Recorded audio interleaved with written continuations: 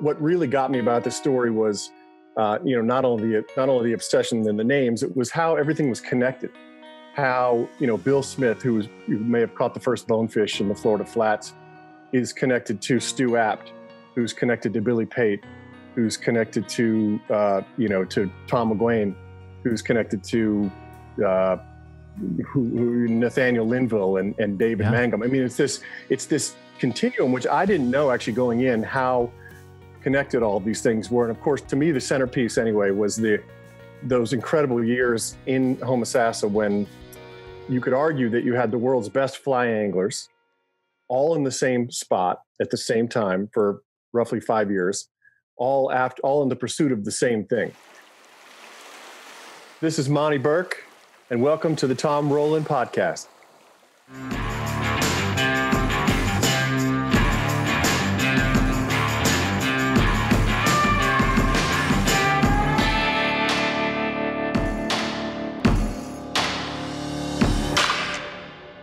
Monte, what's going on, man? How are you?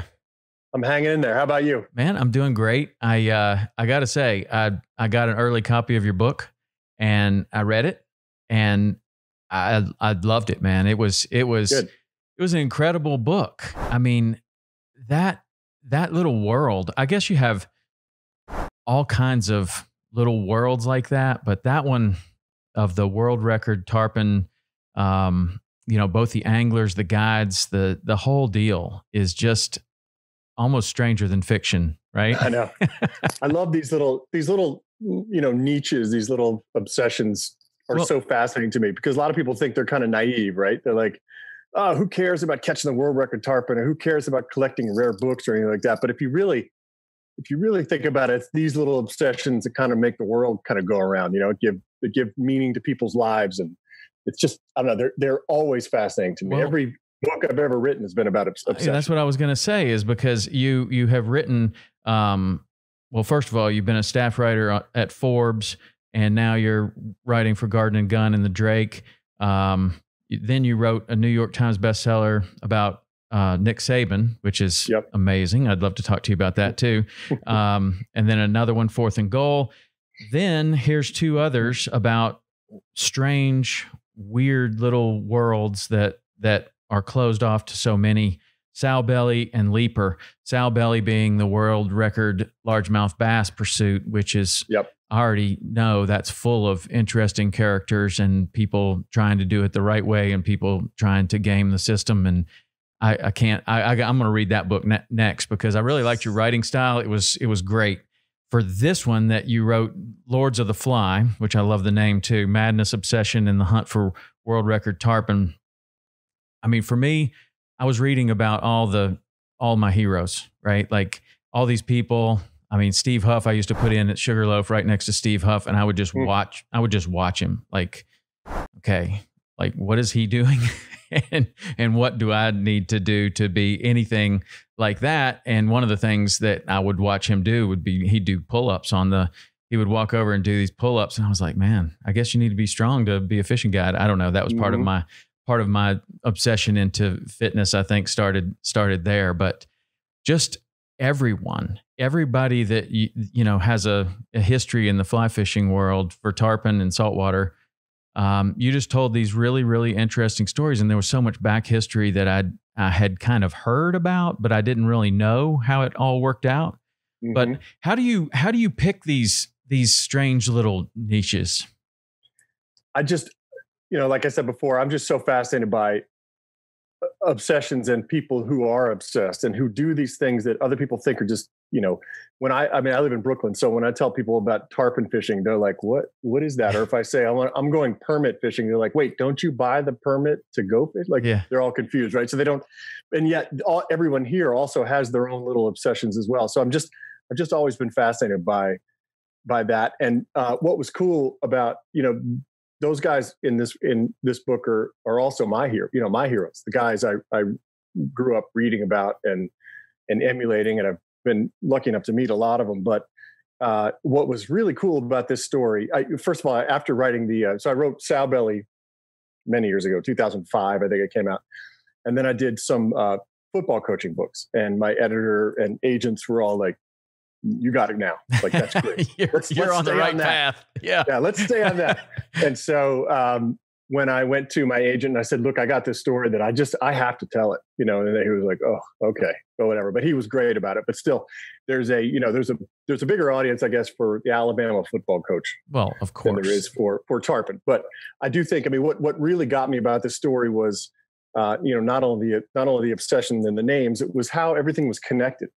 How you know Bill Smith, who was who may have caught the first bonefish in the Florida flats, is connected to Stu Apte, who's connected to Billy Pate, who's connected to uh, you know to Tom McGuane, who's connected to uh, who, who Nathaniel Linville and and David Yeah. Mangum. I mean, it's this it's this continuum which I didn't know actually going in how connected all these things were. And of course, to me, the centerpiece anyway was the those incredible years in Homosassa when you could argue that you had the world's best fly anglers all in the same spot at the same time for roughly five years, all after all in the pursuit of the same thing.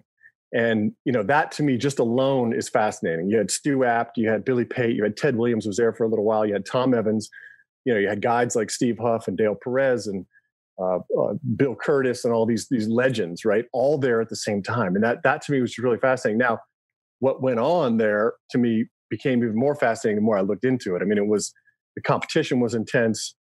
Um, you know, there was they were fairly cordial, uh, you know, on the water with each other, uh, and then there were all sorts of vices that kind of were swept in with the tide, which I made it even more interesting. You said and then it you then said it just exploded. Yeah. Well, I mean, you said they were cordial on the water. I mean, kinda. You told Yeah. a story about uh, mixing up fiberglass and and pouring it on on someone's boat to where nothing worked and you couldn't get a hatch open. You couldn't get the you couldn't move the steering wheel. I mean, Yep. that's pretty serious. Plus, um, you know, sinking boats and all of that, and slashing tires and the whole Yep. the whole it's a deal for competitive, people. you know, the tarpon world in particular seems to be to be a very kind of like, you know, competitive uh, area. Well, it's it's in competitive, world. but you you you you painted that picture really well. Like if you were a new guide and you came into an area like that, you could you could play ball and not get in anyone's way, and everybody be fine with you.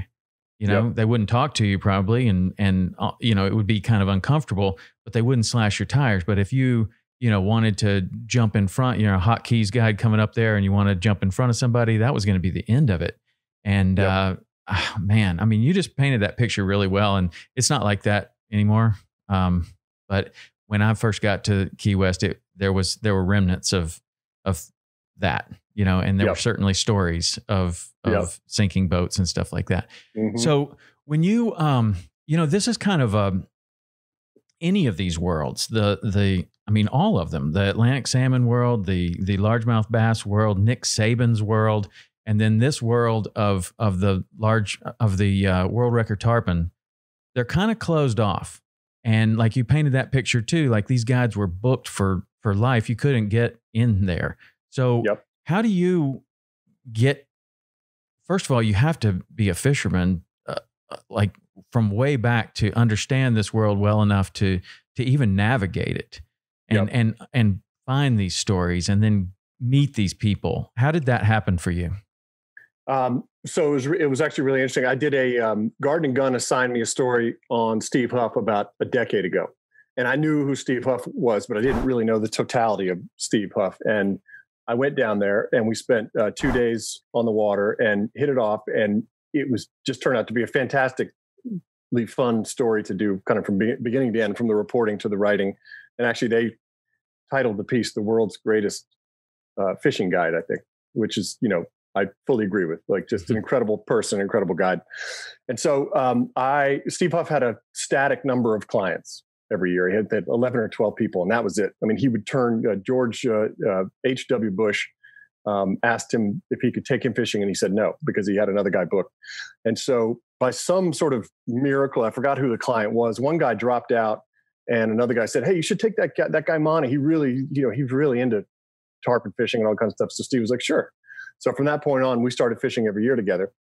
And, you know, we would sit, we would fish all day, and then we'd come home and, and eat dinner. And he would oftentimes kind of start to tell stories about Homosassa.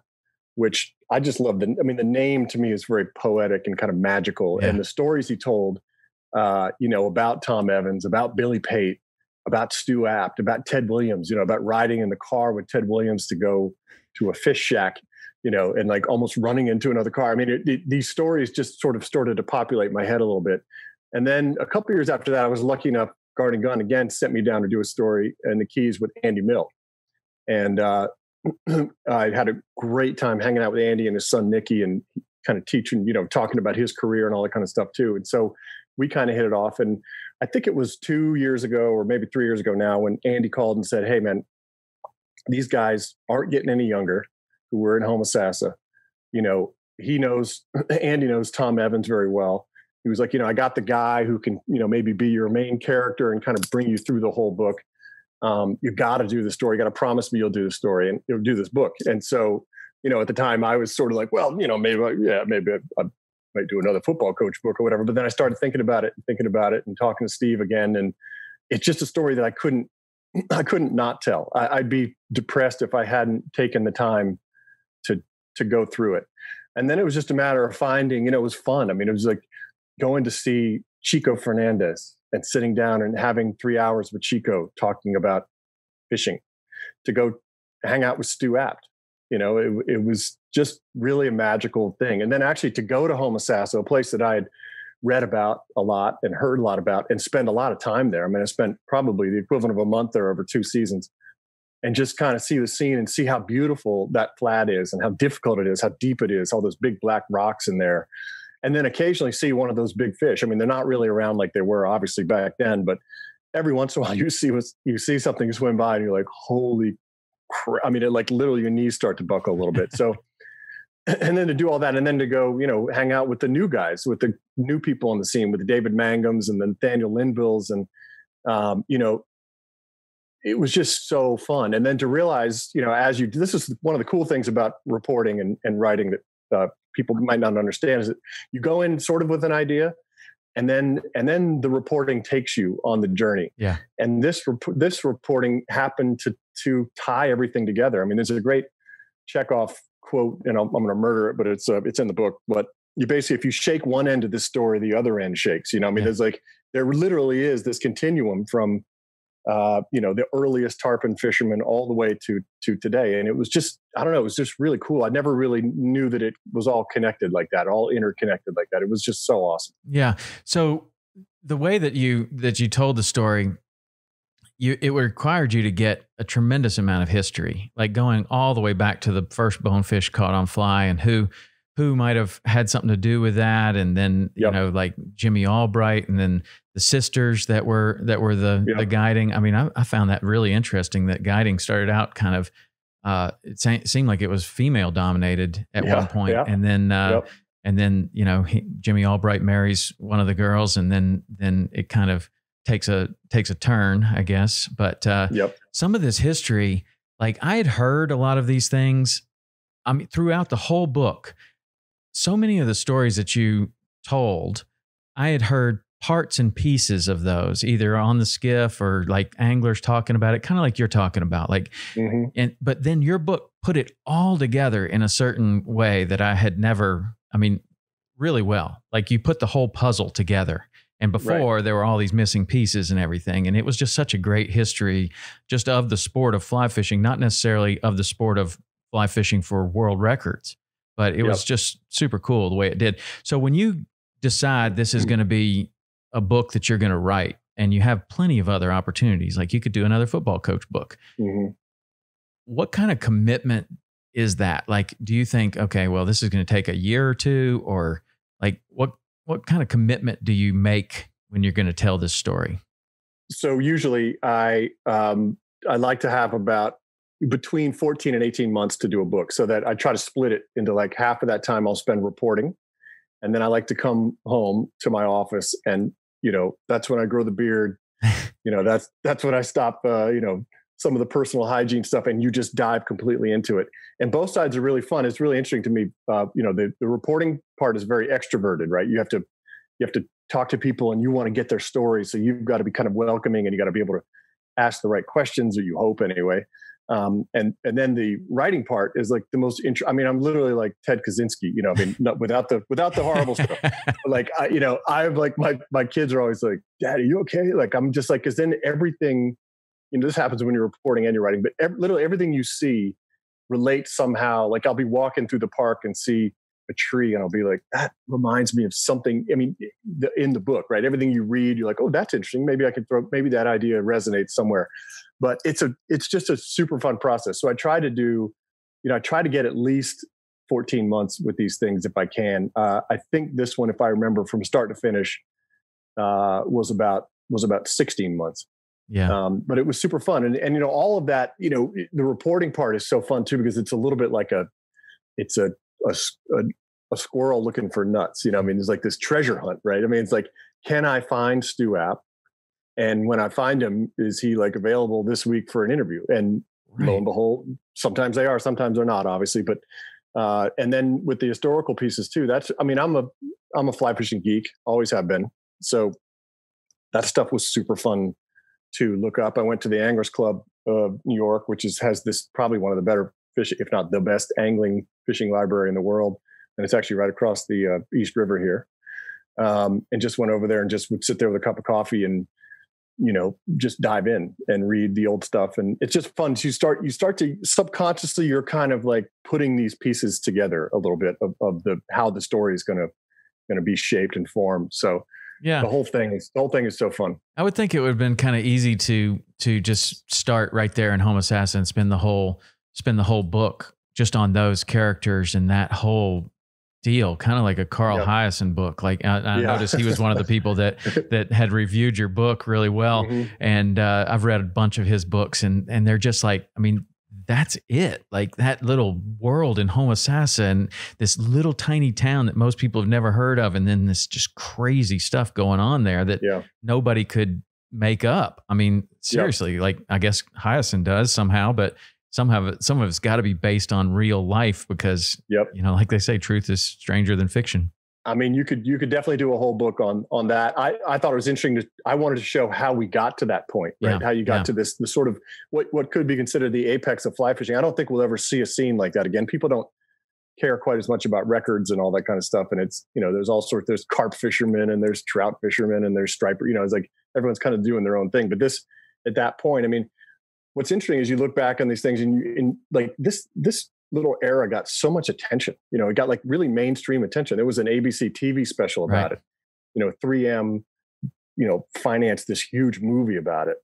Sports Illustrated wrote this incredible, uh, you know, I think it was a six or seven page feature about it. Uh, New York Times had a story about it. The Associated Press ran. I mean, it was like it actually was kind of a, you know, we forget all this stuff, right? But it was kind of a big deal. So it was, it to me, it was huge. interesting to, and to, then there's sort of oh, sorry right what when well just just to finish this thought just the just to write about kind of what led to that moment and then kind of what came out of that moment to me was was pretty interesting yeah and then not to mention all the all the equipment um evolutions that went yep. on you know supercharged by that that movement yep. and then you know all those guys are kind of or a lot of them are coming back to the keys and then you know just just fishing there and practicing and getting ready for mm-hmm. what what is like the super bowl and yeah, I, right. you know, when I first started in Key West, I heard about all this, and and I would hear all these stories about Homosassa, and I, honestly, I was scared of it. I was scared of the Keys. Like I was like, I don't need to go up there with those guys. Like that's right. that's where that's the big leagues. Um, but that's that's cool, man. I like what you said about the process of writing that book. About you have to be like a super extrovert to be able to develop the trust from these people. Like a lot of these stories that you're telling in this book are not necessarily stories that people are going to be real open to telling you about. So right. how did that go? Did everybody kind of uh, cooperate in this, or or yeah? Did you? I mean, did like, you have to I, like there, twist the arm a little bit?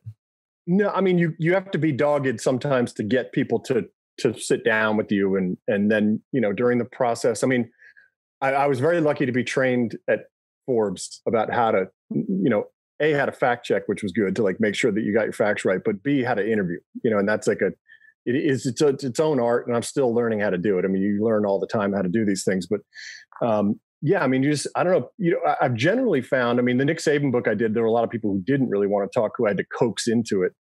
Um, and I generally find that people actually want to tell stories. Stories are sort of what makes this world go round, right? So if you are dogged enough and patient enough and willing to listen, and if you can ask a good question here and there that kind of brings it out, I mean, you do this with your podcast, right? I mean, that's that's kind of what it's what it's all about. And you know, there were a couple people, unlike the Nick Saban book, there only two or three people went didn't want their names in it, and they only because uh, there's a chapter in there about a gangster right and uh, who is now deceased but they're still scared of uh, the gangster's family who might be around so they didn't want to say they they said hey you can quote me saying something not very nice about this gangster but please don't put my name in there so you know you you prefer as a writer not you, you want to have everybody say something on the record that's what you would prefer but every once in a while a quote is good enough or you know a source is good enough that you and, and you want to protect them or whatever respect their wishes anyway so you'll you know you'll take their name out. But, yeah. Um, and that was super a, fun. That was a wild twist in the whole in the whole story. one one like seems like right out of a Carl Hiaasen novel. Like totally. I mean, all of a sudden you just everything's going okay, and then here comes this gangster into the picture, and and just like just throws a wrench in everything. And, I mean, he was what a character, huh? Yeah, and and uh, then how his influence further influenced the whole fly fishing world to the point of you know um, you know I don't want to spoil the book for anybody, but like like Flip Pallot becomes kind of involved in that, and which leads to kind of a, a you know eventually his television show, and yep. it's really just just a wild, wild, wild story. Um, so the way that you did this about going back to the history, I really, really liked, and then how you also told the history and then kind of projected into the future about kind of and I see you're wearing the Captains for Clean Water hat. Mm-hmm. That was that kind of um did you just kind of learn about I mean that that's the big question, right? Like what happened to these fish in Homosassa? Like why yep. was it so good and then it just disappeared? And yep one of the things that you were talking about in the book that I hadn't really heard, uh, I mean, there's tons of theories and everything, but the theory about how how there used to be so many crabs there, and like you you just, I mean, I guess it was probably Steve Huff that was was explaining it. Like they would be all over your trim tabs. You just look down, and there were so many that they were like crawl, crawling on the trim mm-hmm. tabs. That's a lot of blue crabs. I mean, mm-hmm. and grabbing your push pole and and like that's a lot of blue crabs. And then, you know, kind of alluded to the fact that maybe the water quality contributed to the lack of blue crabs, and the lack of blue crabs maybe makes those fish just go somewhere else or yep. not exist anymore. Or what what did you learn about that whole kind of situation in in writing so, this book? I think you can't you can't really tell the story of Homosassa without talking about its downfall as well. I mean, there was a downfall, of course, for the people who were there. These obsessions led to you know horrible vices and broken marriages, and and some with a couple people it led to their to their death, sort of indirectly, I guess. But um, you, you, the probably the most hard, the hardest hit thing was the fishery itself. And so, what, what was interesting about Homosassa is, is the theory is anyway that this was a particular subgroup of tarpon that that came to Homosassa every May, usually. Um, and uh, for whatever reason, they came to Homosassa. Now, part of the theory is that there were so many blue crabs there that that they could just feast, and that's one of the reasons why they got so big or whatever. So, you know, the crowds that showed up there chasing the world record didn't help. Tarpon don't really like crowds, um, but as we see in the Keys, you know, they can coexist. They just don't bite as well, but they they they can coexist with crowds some somewhere. So it's a big question and you know Tom Evans, who who uh, is this fantastic character, one of the funniest people I've ever hung out with, It just a you know fascinating guy, is kind of like the the thread through the whole book. And yeah. you know he he started going there in 1976, uh, and he's 83 years old. He I was with him last year in 2019. He can't walk. He's you know uh, overweight because he can't his back's so messed up he can't walk or anything like he can basically stand up for about two minutes mm-hmm. and yet he's still there trying to catch a world record so you know he, he, talked a lot about why aren't these fish here anymore and so i figured it was worth looking into you know what could be some possible reasons and so the crowds were obviously one reason but there there had to be something different And I think what's different um, is the they had these four big and a ton of springs. It's on the Florida Springs coast, is where Homosassa is. So a ton of springs uh, emptied fresh water into Homosassa Bay, but they had in particular four major rivers, and the the aquifer that feeds those rivers, in other words, feeds those springs that go to the river, has been has been depleted. And uh, you know, a lot of people will say the official sort of Florida state government position is that oh, it's because we've had a lot of drought. Um, they don't like to mention the fact that they've kind of let anyone take water without any you know ramifications or with any regulation at all forever. And so the aquifer keeps going down. Thus, there's less uh, you know fresh water in the Homosassa Bay. Thus, there are fewer crabs.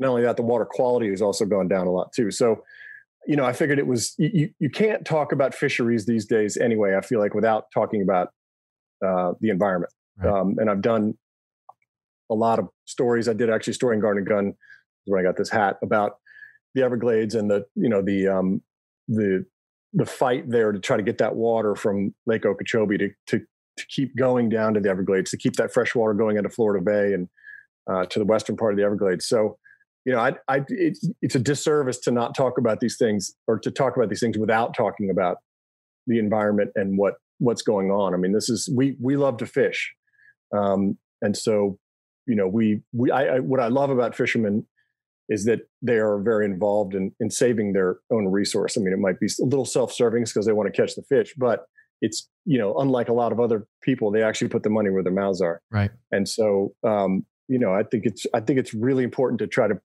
you know at least try to figure out what's going wrong so that we can identify it and hopefully change it yeah. and hopefully get some more water going in and you know get the everglades full of fresh water again yeah well the captains for clean water guys are certainly doing a really good job of educating the public and and getting people involved and it's been a been a really good movement i think that is going to make a big difference um, the way that you kind of brought that in and then also kind of talked about you know this the the the subject that a lot of people sometimes don't want to talk about is like, okay, so you're fishing for world record tarpon. First of all, there was a there was the the part about killing the fish and whether you should kill mm-hmm. the fish or not kill the fish, and then you know are are are we contributing to the problem just by simply by fishing for for these fish? And uh, it was that was a very interesting chapter, and it's a it's a you know it's a it's a subject that it's it's tough. Like and and it was interesting how you you used quotes from different guides and and uh, kind of their opinion of it. Like are mm-hmm. are we just contributing to it? Should we be doing this? I don't know. And then there's a quote from Aldo Leopold of like we protect what we love. And yep. so I mean that's kind of where I stand on it is like if we weren't fishing for these fish and and even obscure fish or fish that were obscure like a permit not too long ago um, who would care whether or not they were around who would care right. whether or not um, you know if it, they're they're often a, a, a, harbinger like they're often the the the canary in the coal mine of yep. if these fish disappear is there some larger thing that's going to really cause a big problem later so mm-hmm. I don't know. Was that was that delicate talking to to a lot of people about about that, or people were mo- pretty open about it, that, or it's a to me it's a delicate subject that that even I grapple with all the time. I mean, is like you know you, you're it's something that everyone every angler has to come to their own terms with and his or her, his or her own terms with you know because the even the act of catching and releasing is not good for the fish it just isn't you know i mean whether it causes them pain or not whatever but you as steve huff says he said one time I, I caught a tarpon and he let it go and he said, you wrecked that guy's day. You know, and it's like, it's true, you know, it's funny, but it is, it is kind of true. So the, you know, it, this was, that chapter is kind of about like what, you know, the morality of fishing. And, um, and so, you know, it, to hear different guides say Dustin Huff uh, was, was very good on it. And, uh, you know, John O'Hearn was great on it. I mean, you know, I, we kill a lot of fish, whether we're catch and release anglers or not. We just do. It's a blood sport still. You, you release fish, they get eaten by sharks, they die of exhaustion or whatever. We just do. That, that's something we have to come to terms with. If we're not comfortable with that, then you probably, you know, shouldn't fish with a hook or shouldn't fish at all or whatever. But in the end, you know, I'm like you. I mean, there's there's the good done by BTT by uh, you know um, for Clean Water, by the Atlantic Salmon Federation, by Trout Unlimited. These are all angler groups. These are all people who are interested in who, who love to fish. And the good done by those groups, this also extends to hunting too, by the way, Ducks Unlimited, uh, far outweighs the bad. Uh, I remember reading a story one time when I lived in Washington, D.C. There was a, a little river in Maryland, and PETA was out there. Some members of PETA were out there throwing rocks while the fishermen were trying to fish this one run. And I literally wanted to be like, you know what? If those fishermen weren't there, there would be no fish in here for you to to, to be throwing rocks about. I mean, what you know, what it's just a, it's a, uh, it's a, I don't know, it's annoying first of all, but it's also like there's a disconnect a little bit about how people view these things. And yes, it may be self-serving that we anglers want to conserve these fish so we can angle for them, but if we're not doing it, who else is? It's right. Well, like, no one, and it's certainly not going to be PETA because right. I can probably. I mean, I can't say this with any factual.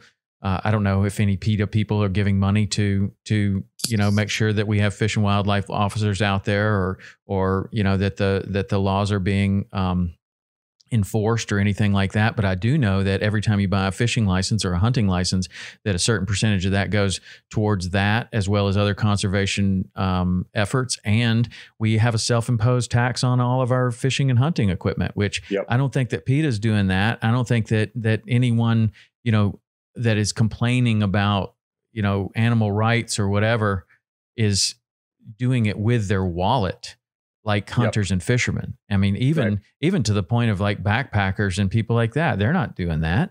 And you know, I like doing those things too. But when it comes to real um, financial, you know, I mean, take take somebody like the Nature Conservancy. Like, okay, we don't even want to we don't even want to mess with uh, rules and regulations. We're just going to buy this and preserve it and take care of mm-hmm. it ourselves.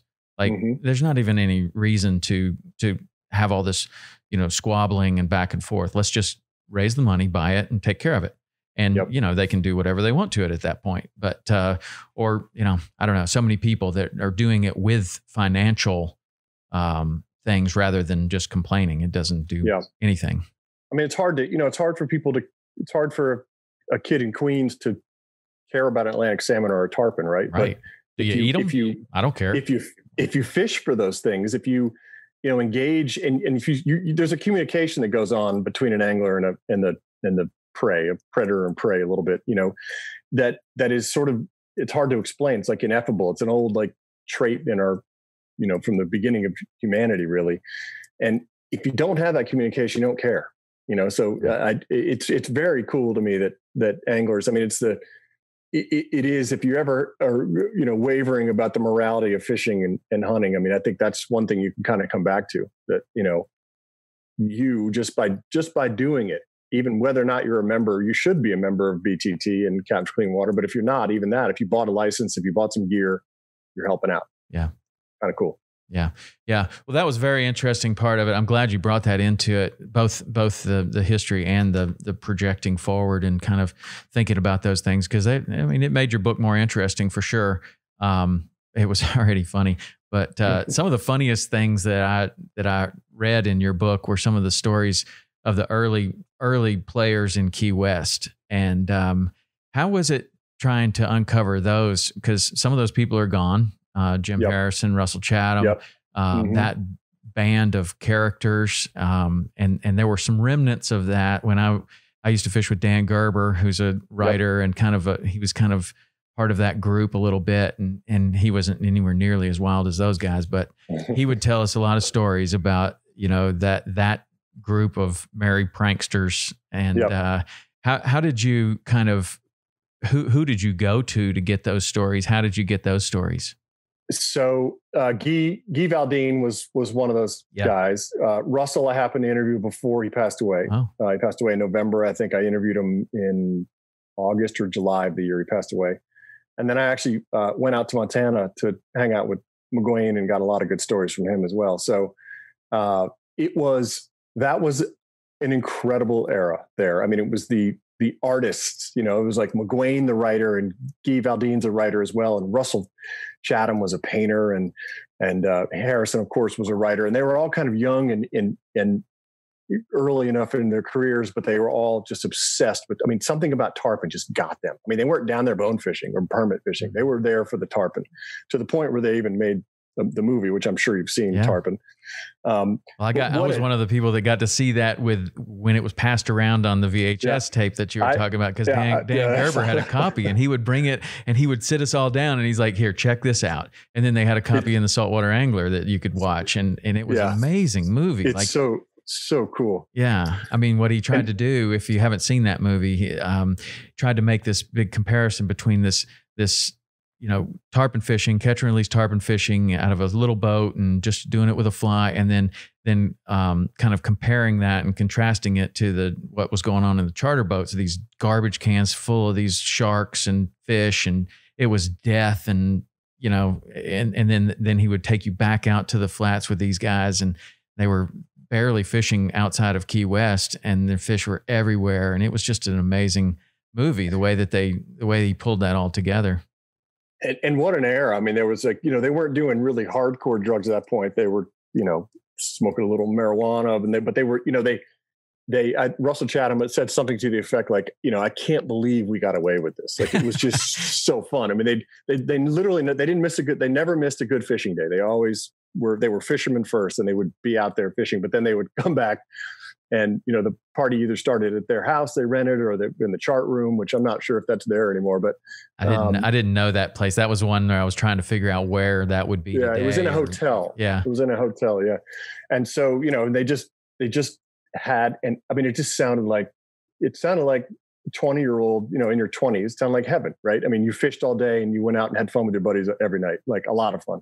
But then of course that kind of crashed too. That got a little you know got a little squirrely towards the end but uh, that era, you know, just Key West has always kind of been attracted artists and people who don't necessarily fit in the continental U.S. and fishermen, of course. And you know, it's just it's just so cool. Key West it maybe is a little less like that these days, but but probably has remnants of it. You would you know you would probably you Man, that, no, I think I think Key West is one of those places that that will always draw artists. And you you mentioned it many times in your book the history of that too like of Ernest Hemingway and and Tennessee Williams and on and on and on uh, all these people that spent time there. So many people that I I didn't even know had spent time in Key West. I'd learned from your book and was like and then you put it all together how you know Ernest Hemingway just punches uh who was it that he punched after that party? It was uh, uh he punched the, the poet, poet uh, the poet. yeah.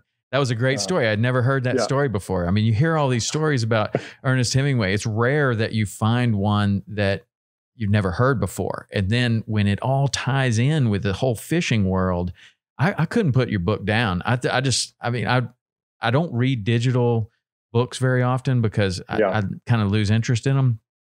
But like my wife left and I was sitting just like this reading on my computer and she came back like an hour and a half later and she goes, you're still there?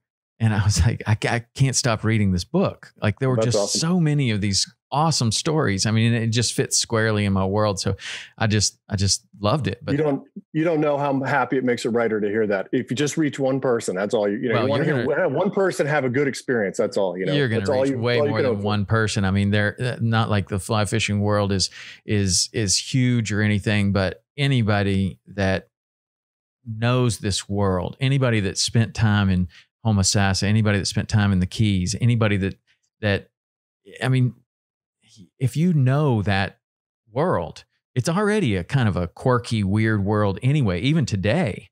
And then to to hear, you know, the history of where it came from and and and you know how these guys were doing some really incredible things like going back to Stu Apte and and those guys catching world records on bamboo rods and making making lines out of 200 pound tests so they could fish around the bridges. I yep. mean, man, that's where you're just like, wow, this sport's come a long way, and it's really cool that you can just walk in and buy stuff. And these guys were like, they were sanding down 200 pound tests so that they could have a fly line to throw, and and and you know the heaviest rod that anybody made was an eight weight. Like uh-huh. Uh, that's all. It's super cool because it wasn't that long ago. It wasn't, and we take you know I don't know about you, but I take it for granted. You know, I've got a hardy rod and I've got a great Tibor reel. And I'm like, this is the way it's always been. Yeah. But that's not the case. And it wasn't that long ago when it wasn't like that. No, you know, and I it's, mean- like- it's because of these guys and the innovations they help put forward, you know, the flip pallots and the Chicos and, you know, on up to the Evans and the Billy Pates that helped us get to this point, Right. you know, where, where it- it is incredible. it's kind of kind of interesting too I, I guess because the sport is is young enough to where a lot of these people that you wrote about are still alive um, we lost lefty just a little while ago but so many of these people that made these big innovations in tackle so many of these people that made these big contributions in world records and setting the bar so high are still around and then you can Mhm. trace it back to wow this didn't really happen that long ago it's not like Yep. baseball or football Right. to where like they're so it's so long ago that it's lifetimes ago like this is all happening in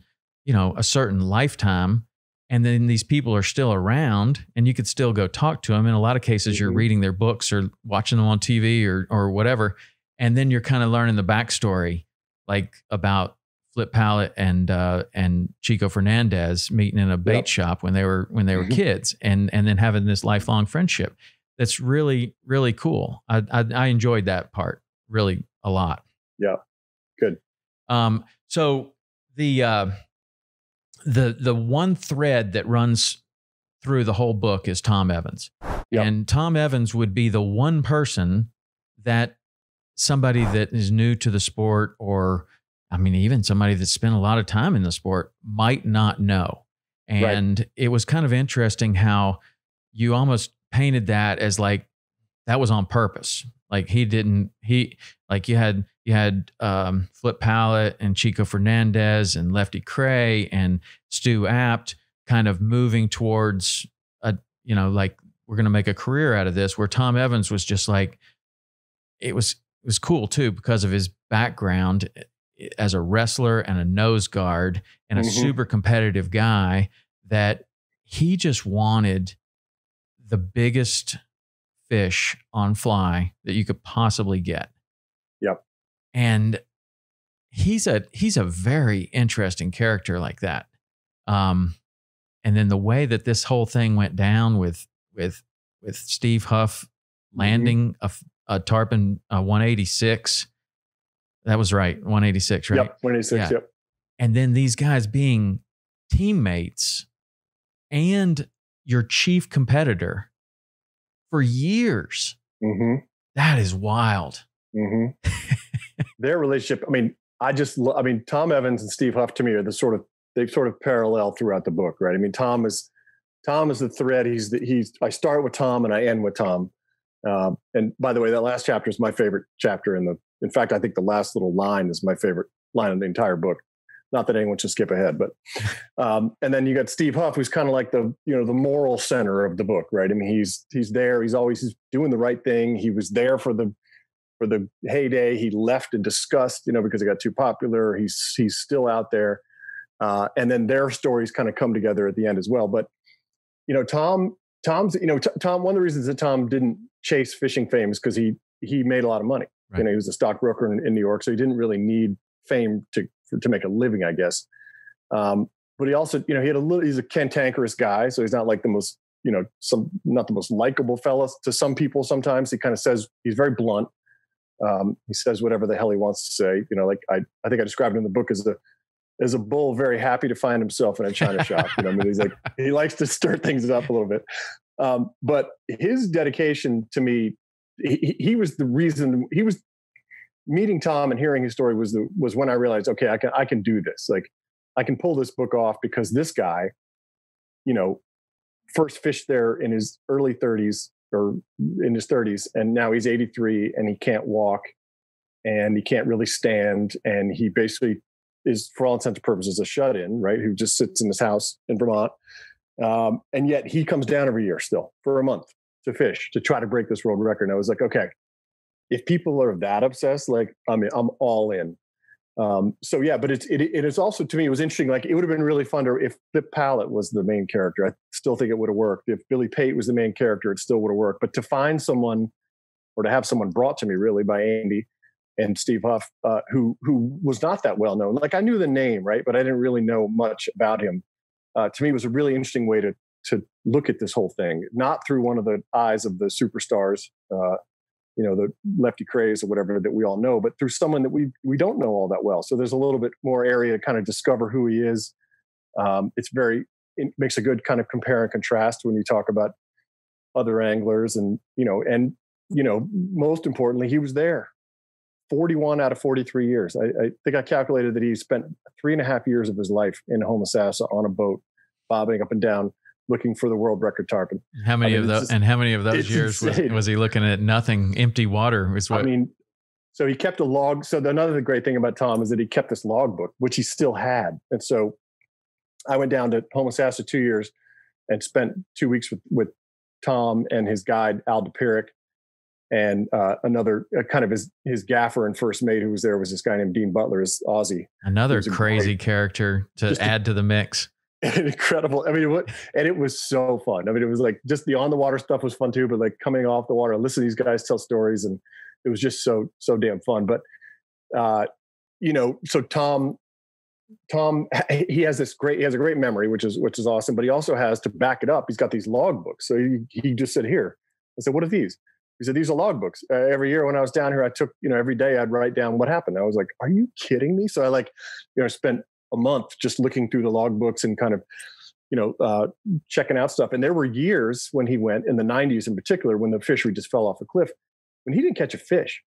He would be there the whole month and they would go out maybe not every day but they because there'd be rain or some some days but they go out 28 27 days of the 30 days and would not catch a fish would maybe cast to one or two. I mean there was a couple times i got a little bit lucky when i went there because i went there for two years and I, I had actually decent fishing when i was there but there were some days when you sat out there i did experience a little bit of the tough homosassa so when you sat out there and, and you didn't see a fish I mean, you did not see one fish and it's you're just standing there in the hot sun being like, wow, you know, I mean, the dedication that all of these guys, but in particular Tom, who really kept at it after the fishery fell off cliff, is just it's mind-boggling. It's really it's so interesting to me that someone would keep doing this, that it means that much to them. Dedication. I mean, to a fault. I mean, that's that's so much of of the the the kind of the thread that runs through this is like this it became so obsessive it even says in your title man madness, obsession, and the hunt for the world record tarpon. Like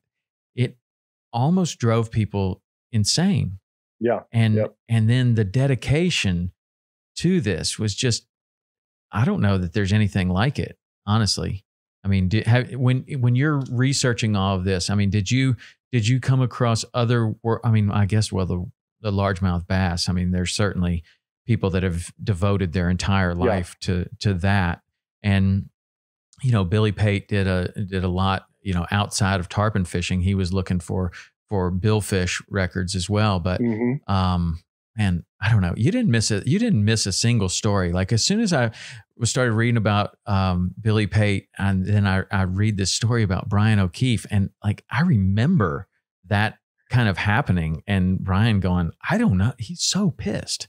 Like, I mean, so that's a great example of a story. So I I I, I knew that you know because there's a Brian O'Keefe who uh, I worked at Sports Afield way back in the day when I first moved to New York was my first uh, magazine job, and you know he was one of the he was one of the photographers for Sports Afield, So I, I you know I didn't know him, but every once in a while I had to email him and say, hey Brian, we need a do you have a photo of a Dorado or whatever, right? Mm-hmm. And so well, I remember looking at the IGFA book and seeing on the 20 pound class, seeing Brian O'Keefe. I was like, wow, the photographer guy from the Northwest. I was like, that's really interesting. So then I, you know, I, I, called him and then I got this incredible story, you know, and then I called, there was another guy, Tom Gibson, who was a Houston tarpon guy who was on the trip as well. So it's a great example of like, there's just a little hint of something right here.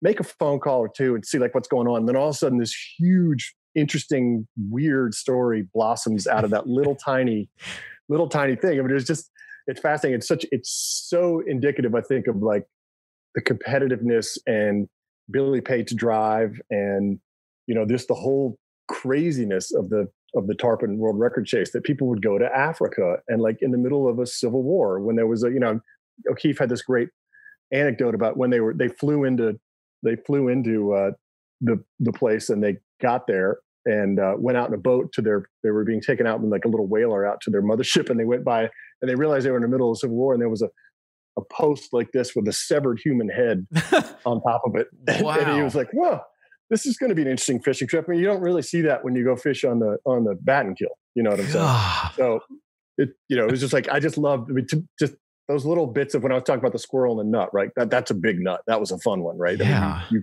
you dove in, you called. Sometimes you call these things and and nothing happens. Like it's just like oh, and, you know, there was nothing that's not even worth reporting. But every once in a while, you get something like this, and you just hit gold, and it feels it's just awesome. It's just so fun. So how many times do you think that people were like, ah, it's nothing. You you don't even want to talk about it, and and and there really was something there, but they're not they're not telling you because like when you, You undercover usually- these stories like this, it's like, eh, is there something there? Because seems like there could you know, I'm sure that I'm sure I missed some stories, but uh, you know, like I said before, I think people like to tell stories, right? So if you just ask them, like, is there anything there? You know, you ask a couple questions, and then if you hear like a little pause or something, there's a change in the air, there's a pause, something like that, and then you're like, hmm, okay.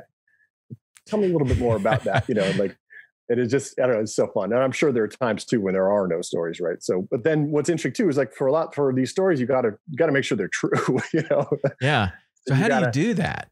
I mean, well, you you you try to get the old rule at Forbes was you needed three sources for every fact, um, which is I try to maintain that uh, thing. But for the Billy Pate uh, uh, Sierra Leone story, um, Billy's not around anymore. Right. So I asked an ex-wife. I got Brian O'Keefe. I got Tom Gibson, and I got Pierre Affre, all to sort of, you know, I would, you know, heard this, heard their versions of this, or heard all of the story from them basically, and they all kind of meshed into one narrative that that checked out. So you know, you just got to call. You got to just make another phone call, make another phone call. But that's it's all fun. You get more. I got more nuggets. I when I was interviewing Pierre he told me the story about putting the hook in his his uh, nether regions. You know, I mean, See, like there's a- little things from There's from another story that I that I had heard. I mean, you always heard this. Like, be careful, man. Somebody stuck a stuck a tarpon fly through his through his dick one time, and you're like, you know, you hear this story just like somebody pooping in the live well, you know, a lady pooping in the live well, and you hear this story Right. over and over and over again, and then your book like brings it all around. It's like, no, that really happened, and this is the Yeah. guy it happened to, and he was fishing in a speedo, and like, just He just, just he just got craziness. over. He got he got tarpon fever. Got overexcited. He was great too because he also told me a story. He said Pierre Affre, who's a French Frenchman who loves fishing. He's on the board, I think, of the IGFA. I mean, he's a he's a big time fishing guy. But he told me that he hooked a fish, a tarpon in Homosassa that that was, and I've always wondered if this happened too. That was he was fighting, he was fighting, it, and there was there was Bill Curtis was nearby, and then the fish jumped like that, and it jumped over Bill Curtis's boat. he told me that story. Like I can't, I kid, I couldn't fact check that with Bill Curtis, but it was that was good enough to put it in there and said Pierre Affre claims that you know da da da da. da. So, uh, but yeah, it's these these. The, the other one in there that I always would wonder about too. I always heard about uh, guides who tried to tie flies out of pubic hair, right? yeah. And I was like, whatever, that's probably a urban myth or whatever. But then I found a guy who didn't, he's another guy who didn't want to go on record. I found a guy who had done that, actually done it a lot. so it was really interesting to, to actually be like, because I was like, what do you name it? Does it work? Like, why did you do it? You know, there's lots of questions that come up when you when you hear about these things. But you're right. I mean, these I've heard the lady pooping in the live well story probably 50 times. Yeah. You know, I just I'm sure it's happened. So yeah, but- and it probably you probably heard it that it happened in Homosassa, and then I probably heard it that it happened in Key West, and I heard know, the Everglades actually. So- right, it, okay, yeah. so it probably happened. Who knows where it happened and whose Right. boat it happened to? But um, it's a hilarious story where the guy. but I don't know if it happened. I mean, it must have happened. It had to have I'm happened it's- for yeah, for that sure story to to go around, just like all of these others. And you're like, oh, it did happen. Like, you know, it's funny. It's funny. There's so it. many. There's so many funny stories. So at some point, some of these stories, when you're fact checking them, have to get a little uncomfortable. Like if you're talking to Mhm. Billy Pate's ex-wife about this period in his life where he mounted this giant expedition to Africa to go Mhm. catch a world record tarpon and brings along the best photographer he can find, Brian O'Keefe, who then Mhm. sets the world record right out from under him. He was with a Billy Pate reel, by the way. triple pissed, right? And so that had to be a very uncomfortable time for the ex-wife. So you're you're asking about this story. I'm sure there's tons of these other stories where, in order to fact check them, you've got to kind of navigate through some pretty tricky and uncomfortable waters. Yeah. You have yeah, any stories Um, like that? Uh, you know, let me think. I mean, there's not really. I mean, I've you know, I've been because I was at Forbes. At, at Forbes, when I when I was there, there was no digital component. It wasn't Forbes.com. It was just a magazine, right? And it, it prided itself on being, you know, it might not have been the most readable magazine, but the facts were right, right? It was like we had this. You actually started there as a. I started there as a fact checker. I was a reporter, but what which really did is some big shot came in with some big feature story on the on the CEO of Coca Cola, and like I had to fact check it, and like we had this crazy thing where you highlighted some things, and you you never really checked quotes, but you checked the the substance of quotes, and all this kind of stuff. So I was really well versed. I did two years of that, pretty intensive. So I was pretty well versed in like how to ask the question and not that not let them wiggle out of the truth, right? Because some a lot of people hear, uh, you know. I'm, I'm doing a Harvard Business School case right now, which is writing one, which is really interesting. It's not journalism because you actually send the quotes to the people, and they have to sign off on them. And so what, what that what that allows people to be to do is like, oh, I didn't really say that, and they rewrite they rewrite the quote or whatever, right? So that's that's not really a fair thing to do either, really. So there's a way to you know get the substance of these things across um, and the facts, and then and just make sure they're make sure they're correct, right? I mean, you don't want to be sued for libel or anything like that, but I didn't get, you know, I I I didn't get a whole lot of pushback uh, from people. I, I I generally think people were just they just were excited to tell the stories. I mean, they're you know this is for a lot of people. I mean, this is you know this is Stu Apte's life. This is Sandy Moret. This is what animates them. It's what's driven them. It's what they've loved all their life. They were so happy to talk about uh, these things, and and you know, so I think that makes it a little bit easier too when you're when you're talking about something that someone loves. Yeah. They'll tell you a lot of good stuff about. and it was you the know? heyday. Plus, you know, fishermen tend to like you sit at the Lorelei, you're going to hear some stories, whether you want to or not, right? You're gonna true. you're gonna you're gonna hear stories. People like to have a couple of beers and start talking about how it was in the old days. Yep. And but it's it's a different kind of thing when when you're like, well, I wonder if that really happened. So now Yeah. I'm going to have to go Which is a ask this other guy. Yeah, which is a fun thing. I mean, that's how you get to the bottom of the Brian O'Keefe story. That's how you that's how you find the Pierre Affre's story. That's how you find, you know, the pubic hair guide story. I mean, it's like it was it's kind of fun. Like I was like, just do these things exist? Let's dive in. I mean, there are other things I looked at that didn't I couldn't corroborate or whatever, so I didn't put them in there. But you know, it's just fun to and uh, you know, as you said, you let off with with saying that you were familiar with some of these stories but didn't know the details. To me, that that to me is what what my job is as a as a book author. I did that with Nick, with the Nick Saban book too. I mean, there's people knew that he was the head coach at Michigan State uh, for a little while, but what was that era like, right? So it was my job to go in there and talk to the people who were there, talk to the players, talk to the administrators, talk to assistant coaches, and like tell you stories from that era that you so you knew about that. So you, it's actually a really good thing because the reader has a little bit of a connection, and then you're drawing them in even more by supplying the details. Um, and I like that too. Like I, li- I'm familiar with these stories a little bit, and it's so fun to go dive in and like get the get the real stories and get the you know get people talking about them and pull out the the little interesting details that make these stories sing. And you know, I mean, that's sort of I feel like that's my job as an author to do that. Yeah. What kind of time did you spend with Nick Saban? So I spent, um, I wrote a cover story for him about him uh, for Forbes. I think in his coming into his second year at Alabama, and I don't know if you remember, but his first year was, at least by his standards, was kind of a disaster. They were finished six and five.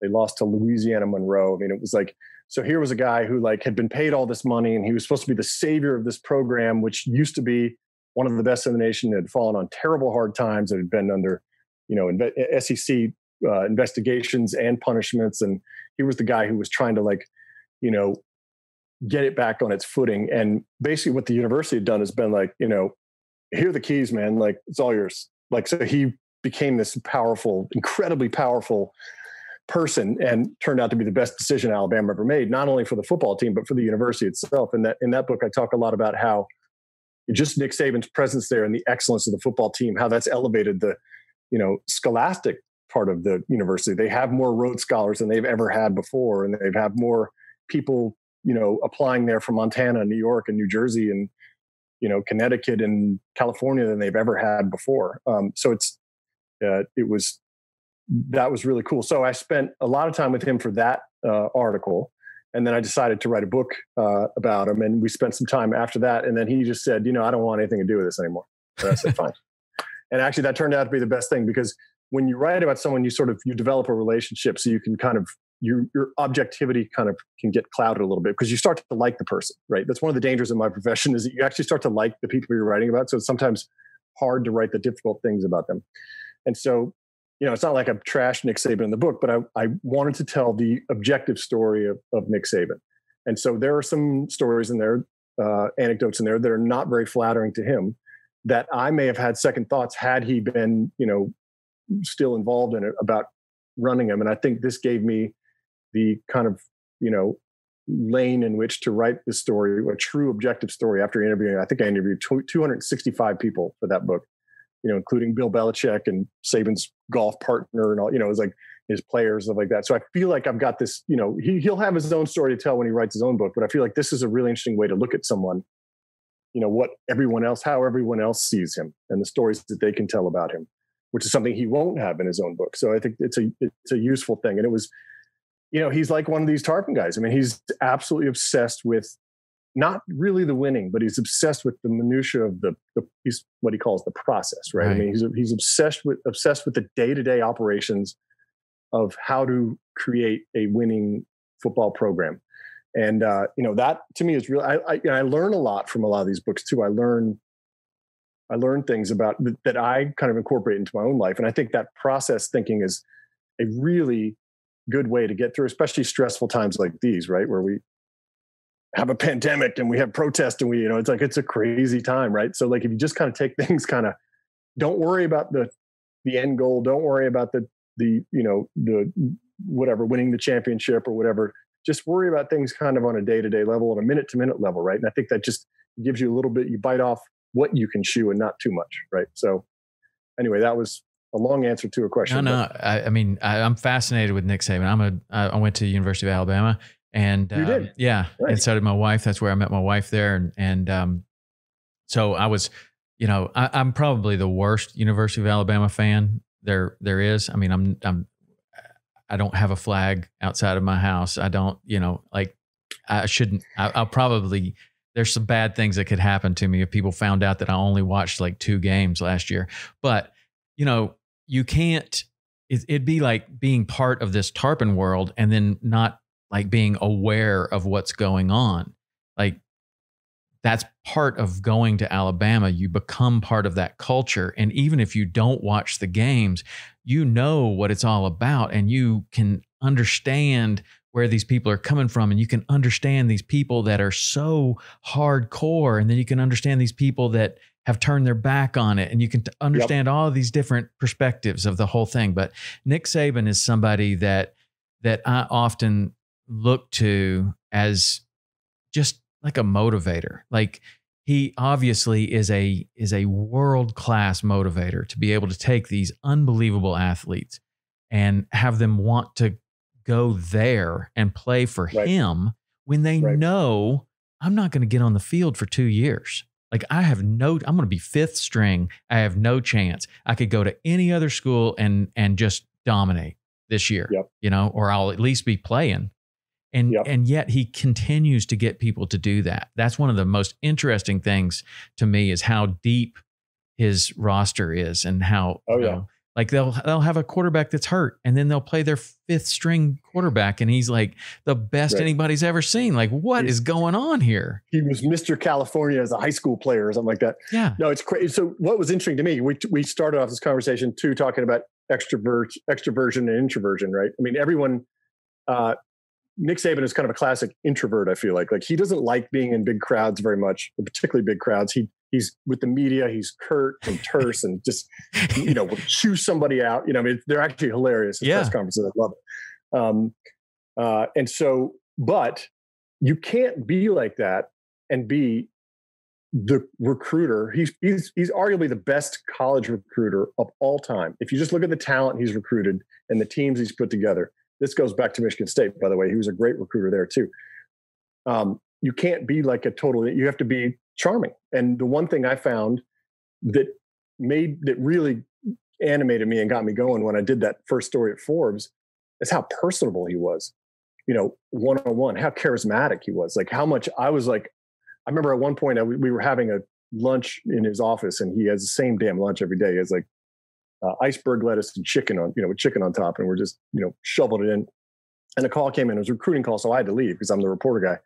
And he was like, "Just come back in like 20 minutes." And I, I remember running out into the parking lot and getting on my phone and calling my buddy Charlie, who was a big Alabama fan, and, you know, and I was being like, "Dude, this is a huge. I mean, this guy's amazing, dude. It's a huge story. Like, I'd run through a brick wall for this dude. You know, like if so, there is this. It's just." That to me is a really interesting dynamic that you can do both. You can be kind of both of these people, right? You can just you could be this he's one on one, which is why he's gotten so many great recruits. Uh, he is just incredible. I mean, he's just not only to the to the kid, but to the kid's parents, right. you know, and to the to the kid's brother and the kid's sister. I mean, he's just he's just an incredible thing. And I I always find it so. You know, I, I grew up in Birmingham for a little while, and um, you know, moved up here. I live in Brooklyn now, and I go out to like the New York suburbs to see friends or whatever, and I run into little like ten year old boys who you know who they know kind of what's going on in sports, right? And they're wearing an Alabama jersey. I'm like, why are you wearing that Alabama jersey? It's my favorite team. Like, really? You're a kid in like, you know, wherever, Westchester County, New York, and Alabama is your favorite football team. Yeah. So, I mean, that excellence, like, it, it's how far reaching that excellence is, is just really fascinating to me. It's like, they're the Yankees at this point, the Yankees of uh, of, college football. It's yeah. incredible, and it's all it's a due to him. It is it is incredible, and what's interesting to me too is like when they're ahead by I don't know an insurmountable amount of points, right? And somebody does something stupid on the field, and it has it's so inconsequential to the to the outcome of the game. They're going to win by fifty, and he is he's furious. He's spitting. His face is red. And he goes over to that guy and just chews him out. And it's like, why is he getting so mad over over that it's it means nothing but it doesn't it means everything it is like you run this play like it's the only play you're going to run all day and i don't care if we're ahead by 50 or 100 or by yep. down by 100 you are going to perform perfectly every time, or you'll be somewhere else. And yep. these guys are like snapping too, like, sorry, coach. You know, it's just fascinating that someone, because the amount of discipline that you have to have to pay attention to details when you're up by 60 is, I mean, that's, that's pretty impressive. That's like yeah, being I mean, in a fishing tournament, you know, and you've, you, you, you've tripled everyone else's score, but yet you're still paying attention. You don't miss a shot. Yep. Like it's it's hard. It's hard to do. I mean, that. to to him, I mean, that's how success is bred, right? I mean, it's about the that's the process. That's his phrase was how you do anything is how you do everything.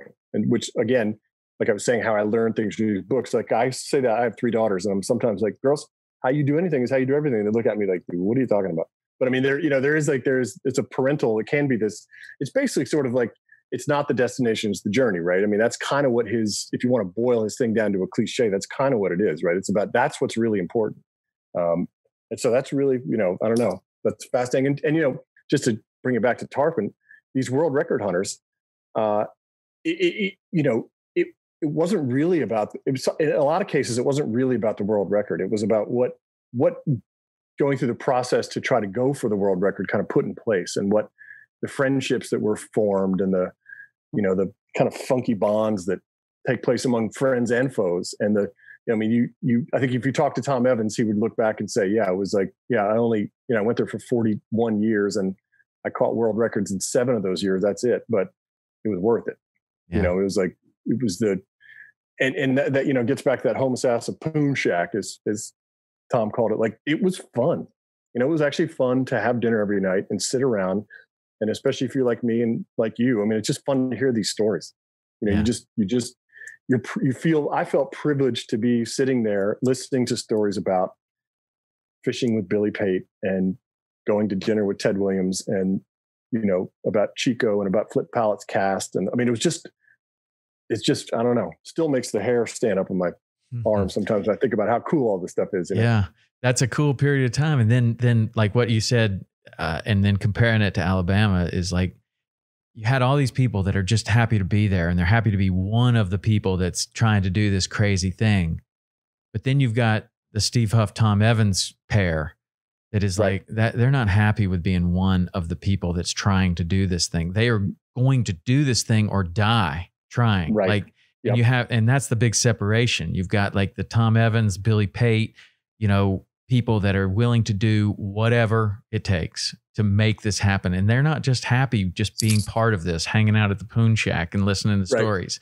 Like Yep. they that's the Nick Saban. That's the Mhm. that's the guy that is we're here to catch them. We're not here to screw around.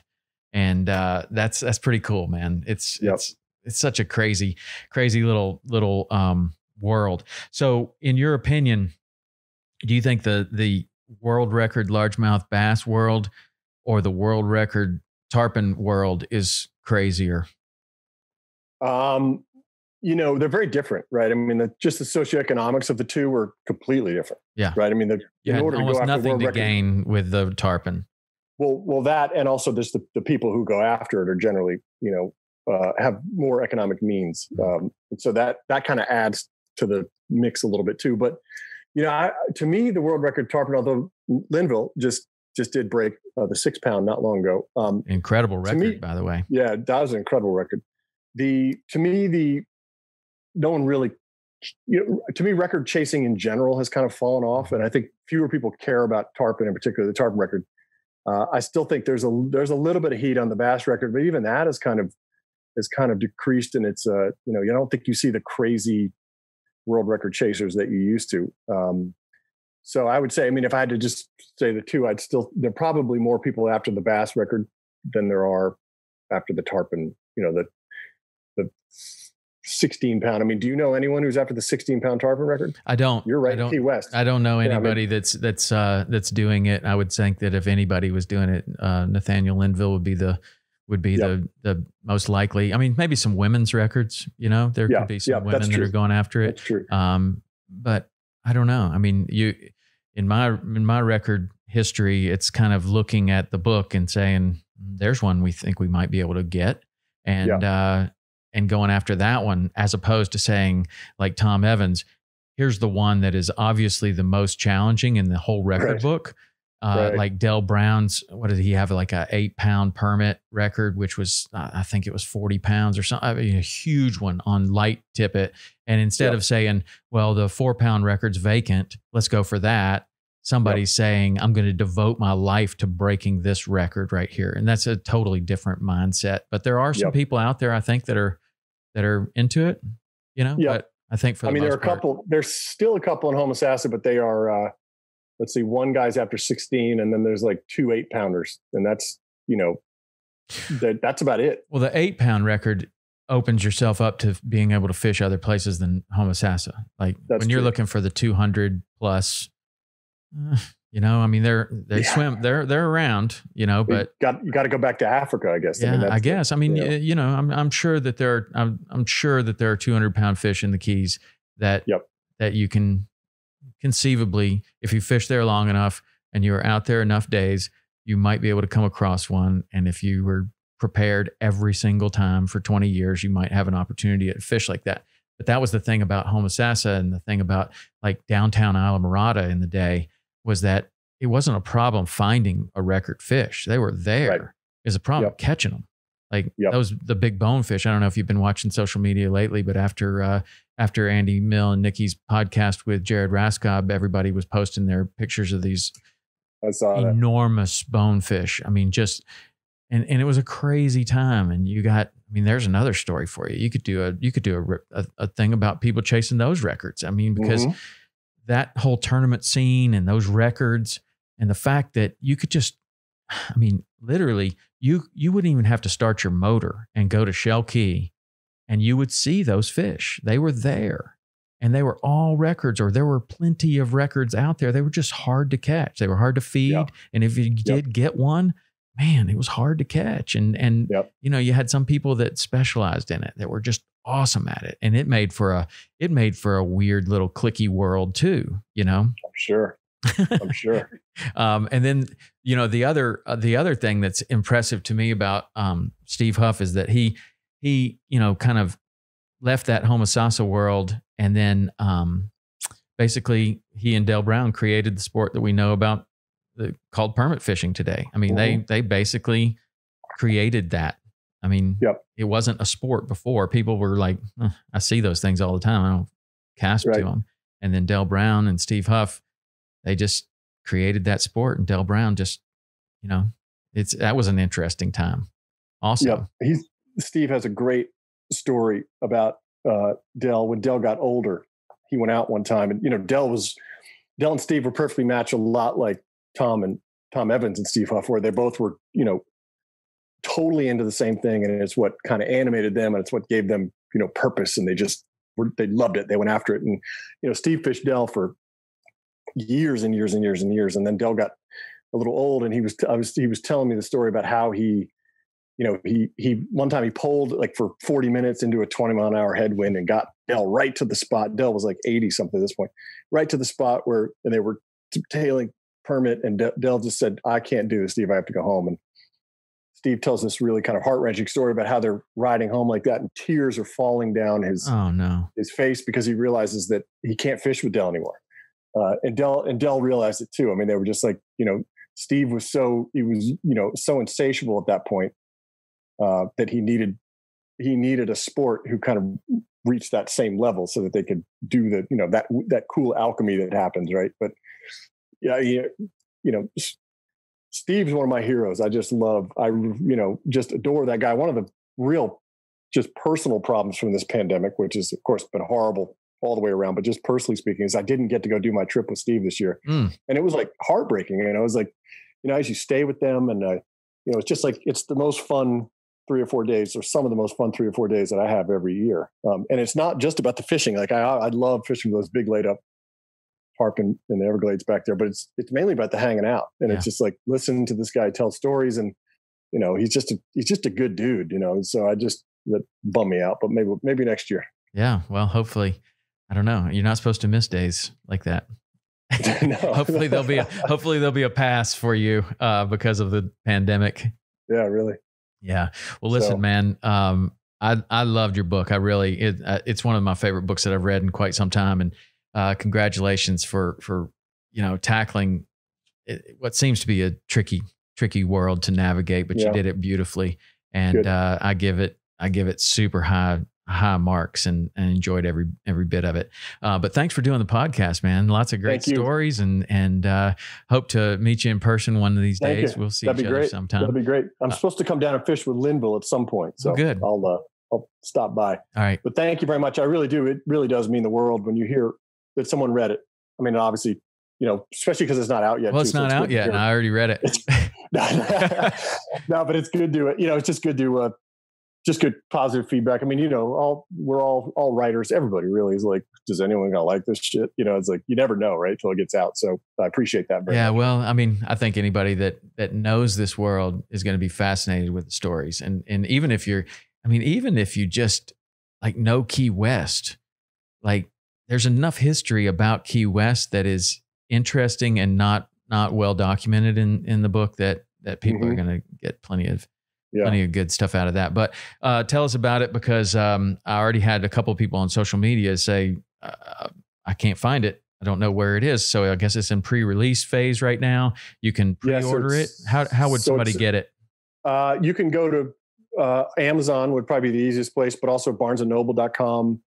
Uh, it's not in stores quite yet. It will be in a couple weeks. Um, and or good re- or, you know, IndieBound or something like that. Just go and you can pre-order and, and you'll get it. I think you get it on the first of September, which is its release date. You might get it a couple days afterwards, but um, you know, just go ahead and order it, and then you'll have it for the fall. Awesome. The book my- is is Lords of the Fly. Cool name. Love that name actually. Lords of the Fly: Madness, Obsession, and the Hunt for World Record Tarpon. Highly suggested.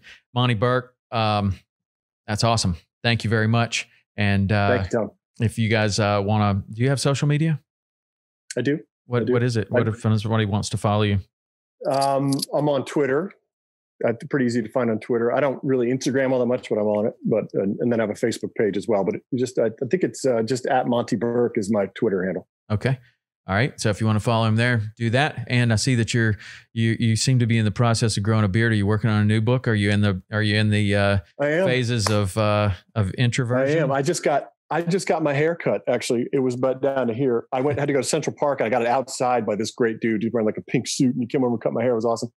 But yeah, I just just started a new book uh, actually on Saturday. So uh, this is a little. I grew it in anticipation, but yeah, it's coming in good. So. Very cool. No, but this is. I'm, I'm, in the extrovert part, so I'm gonna have to shave this off tomorrow when I go interview people. So. All right. Well, it's a it's a delicate balance and fine line yep. to walk. Good luck with that. All right, man. Nice. Thanks so much. I appreciate right, your time. Thank you very much. We'll see you guys next week.